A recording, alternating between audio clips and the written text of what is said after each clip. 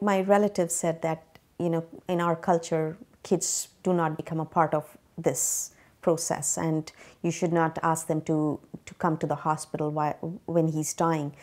Um, but I had my foot down and I told them that, you know, I, I will have my kids over so that they could get, they could see him in his last stage and whatever they want to say to him, they could, or maybe he could see him and say whatever he wanted to.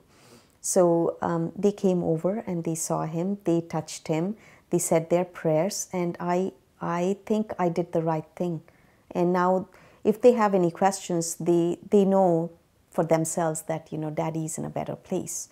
And it's not that I have to come home and say, oh, you know what, daddy is no more. And then they would have 10 million questions. Where did he go? What happened to him? He was at the hospital. And now they know for themselves. And maybe that's why they can tell me that, you know, mom, he's in a better place. He's in, in no pain now.